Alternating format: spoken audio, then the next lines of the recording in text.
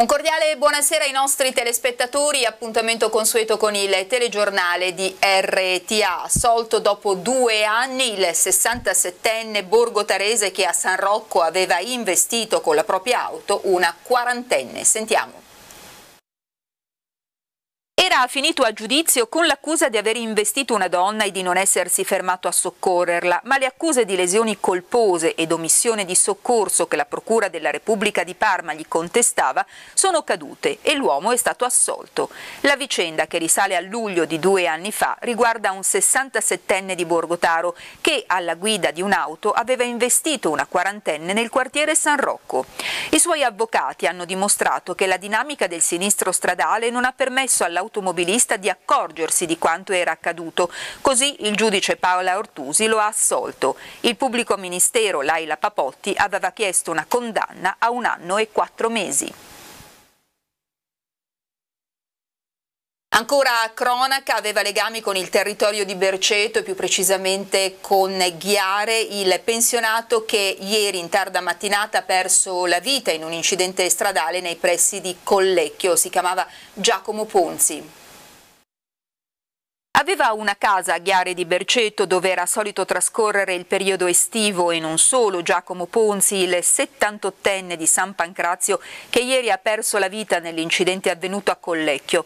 Dopo aver trascorso proprio a Ghiare alcune ore con la moglie, entrambi in tarda mattinata erano partiti per far ritorno a San Pancrazio. La donna in auto, il marito in sella la sua Vespa. Giunto all'altezza della rotatoria che porta a Medesano, il pensionato è finito a terra rovinosamente andando a sbattere violentemente contro il guardrail. Inutili soccorsi giunti prontamente sul posto. L'uomo è morto sul colpo. Ora sarà la polizia stradale a chiarire la dinamica e le cause del terribile sinistro. Tra le ipotesi un possibile malore, la perdita del controllo del mezzo, ma anche un urto con un altro veicolo.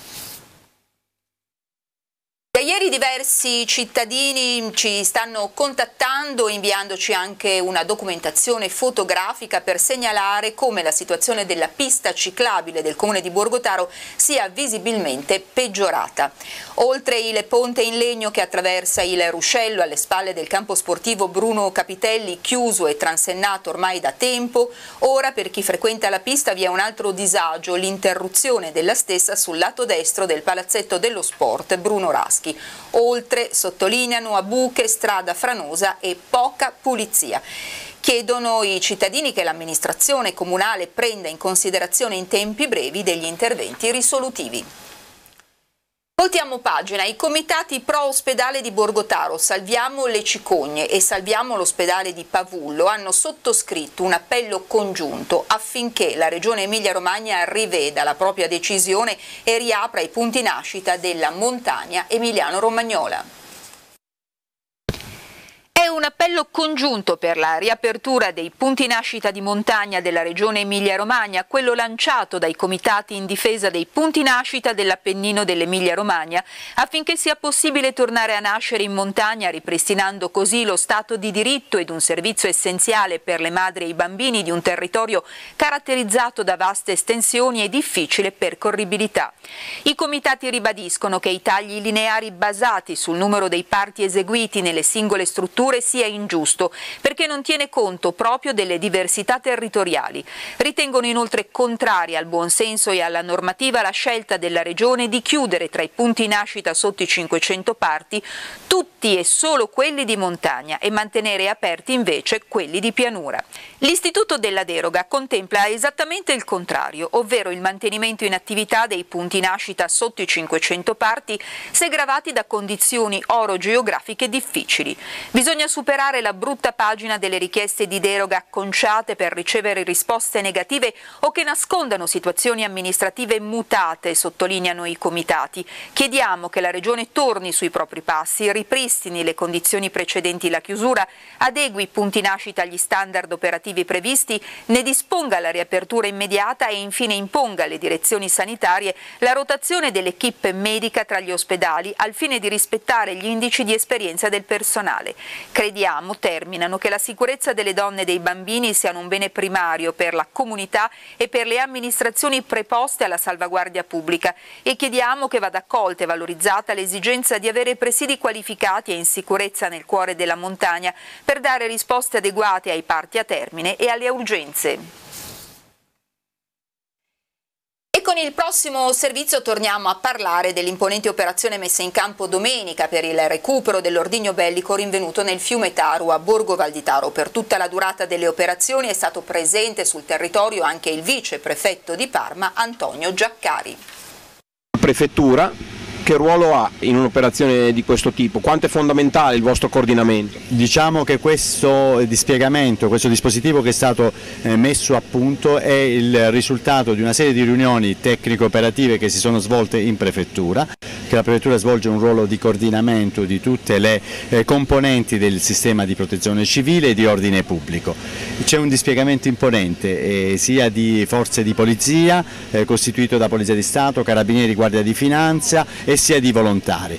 Eh, polizia, le, le, forze di polizia hanno concorso sia per la chiusura di tutti i cancelli e sia per quei servizi di antisciacallaggio in modo che tutti i 5.000 residenti che sono stati coinvolti nel lasciare le proprie abitazioni lo possano fare con la massima tranquillità sapendo di poter affidare i beni diciamo, più eh, propri alle forze di polizia che stanno svolgendo ecco, un ottimo servizio sia nella fase di evacuazione che nella fase adesso di controllo del territorio.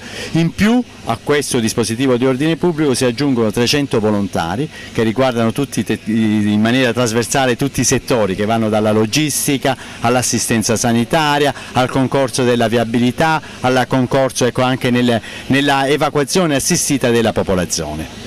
Ecco, ed era proprio questo uno dei temi eh, ricorrenti delle ultime settimane, ovvero la paura di sciacallaggio nel lasciare le proprie case eh, certo. disabitate certo. con eh, le tapparelle abbassate e tutte le indicazioni che avete fornito attraverso certo. gli eh, comunicati. Eh, Secondo lei le operazioni di evacuazione sono andate a buon fine? Si ritiene soddisfatto? Io mi ritengo soddisfatto perché ehm, devo innanzitutto sottolineare il grande civismo e senso di responsabilità dei cittadini e dei residenti di Borgotaro. Già nelle prime eh, ore di questa mattinata, intorno alle 5 e mezza, 6, mi diceva il eh, maggiore Gentile che già molti avevano, stavano lasciando le proprie abitazioni per recarsi, insomma, chi al mare, chi fuori, per, eh, per, per consentire che le, le operazioni si svolgano nella massima massima ecco, regolarità. Ricordiamo e... che sono stati impiegati 50 uomini in più della polizia per permettere il presidio dei nuclei abitativi. C'è un concorso ecco, di 50 uomini delle forze di polizia proprio per questi servizi, insomma, di, eh, sia di controllo del territorio che servizi antisciacallaggio che sono fatti anche in borghese insomma, eh, dalle, dalle, forze, quindi dalle forze di polizia. I cittadini devono sentirsi re, diciamo, eh, tranquilli perché lasciano i beni ecco, ad un dispositivo di ordine pubblico pubblico messo a punto nei minimi termini.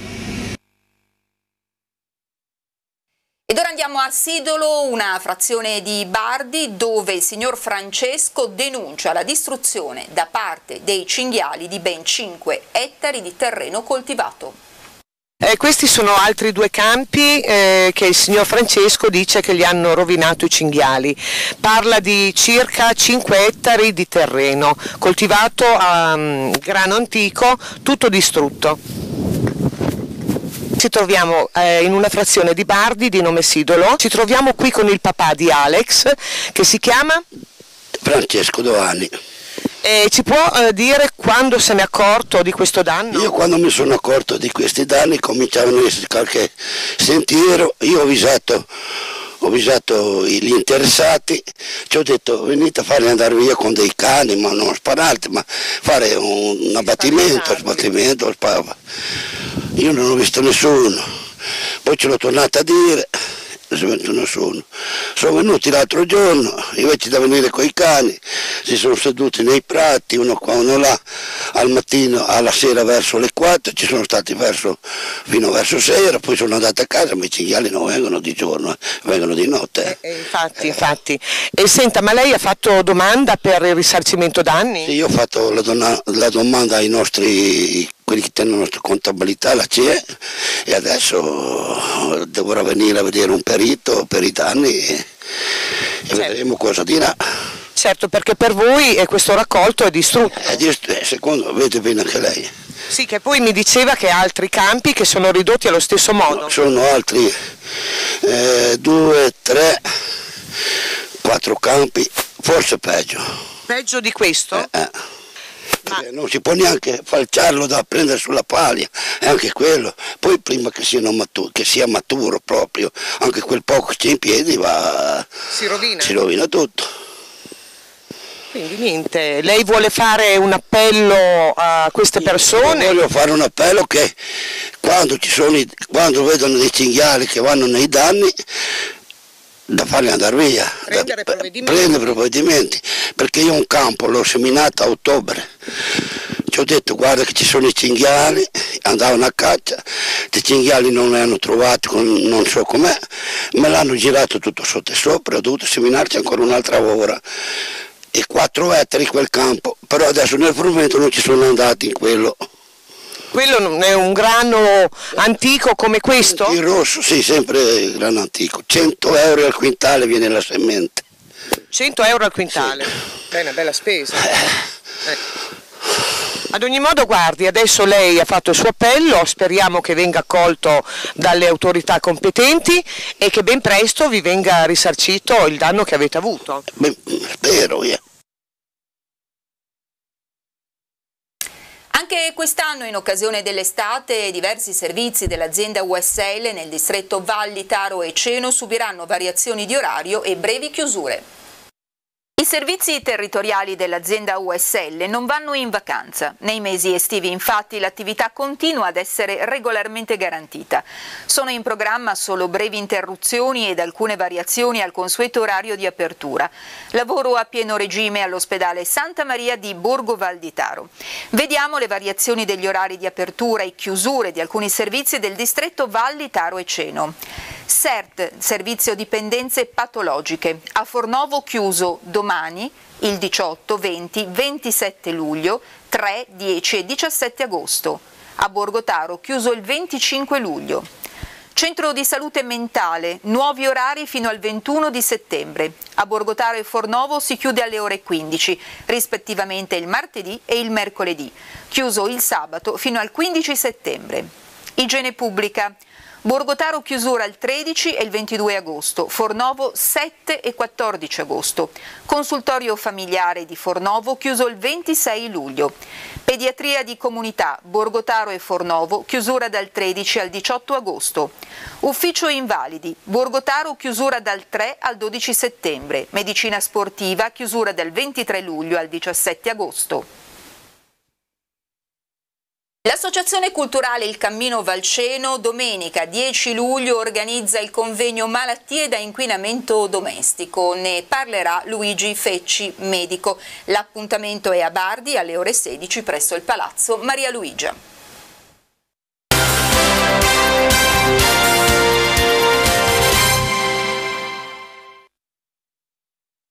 Siamo alla pagina sportiva di oggi, una manifestazione che di anno in anno cresce sempre di più. Stiamo parlando della corsa ciclistica Memorial Porcari, svoltasi domenica a Bedogna e giunta alla sua settima edizione.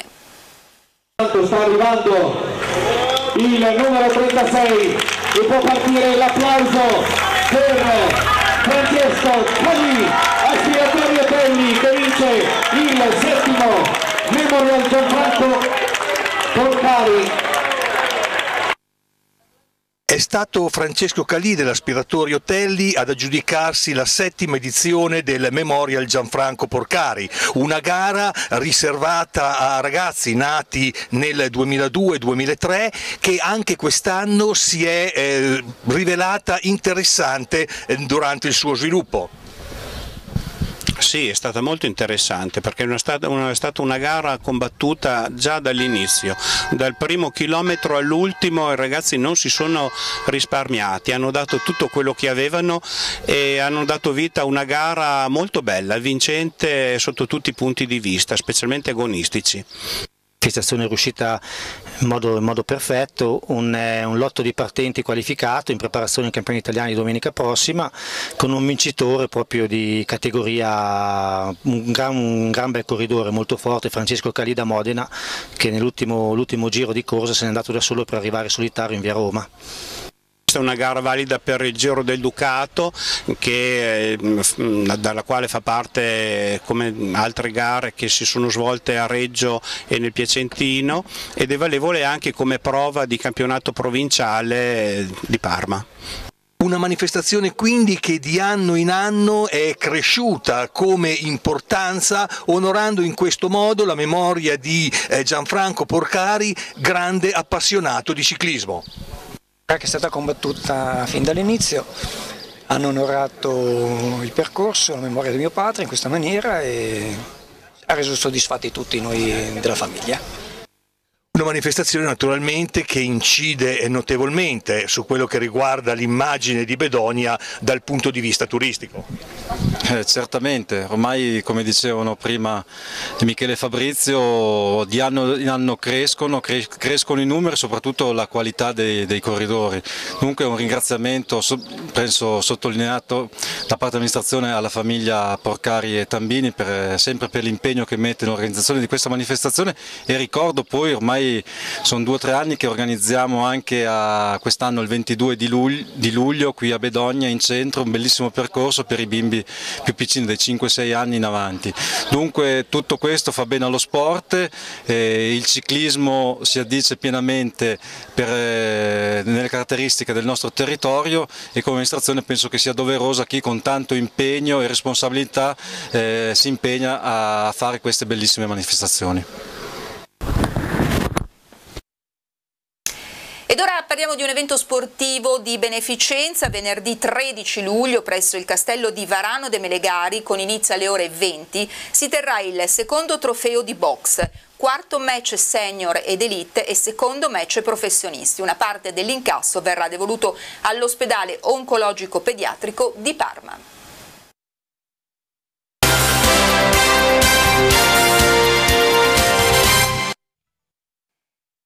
Previsioni del tempo per la giornata di domani, venerdì 6 luglio, nuvolosità variabile con temporali sparsi nel corso della giornata più probabili sui rilievi, temperature senza grosse variazioni di rilievo, minime intorno ai 17 gradi, massime intorno ai 31, venti deboli variabili a regime di brezza con raffiche di forte intensità nelle aree temporalesche. Vediamo insieme la programmazione serale di RTA 20.35 Driver TV, ore 21.15 protagonisti nello sport, intervista a Eugenio Bianchinotti, alle 22 il TG, alle 22.30 Balla che ti passa e alle 23.30 Rivediamoli del 1993. Ed è tutto per questa sera, grazie come sempre per l'ascolto, vi auguro un buon proseguimento, torniamo domani 19.35, arrivederci.